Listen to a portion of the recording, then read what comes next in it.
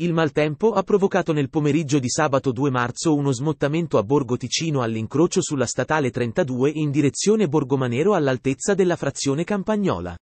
Come comunicato dal sindaco Alessandro Marchese, a seguito di verifiche da parte dei vigili del fuoco e le previsioni meteorologiche in netto peggioramento, al fine di garantire la pubblica incolumità, è stata disposta la chiusura dell'incrocio in direzione Borgomanero.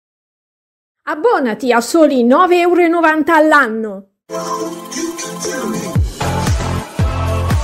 Autosalone Tedeschi, concessionaria Suzuki per il VCO, a Piedi Mulera.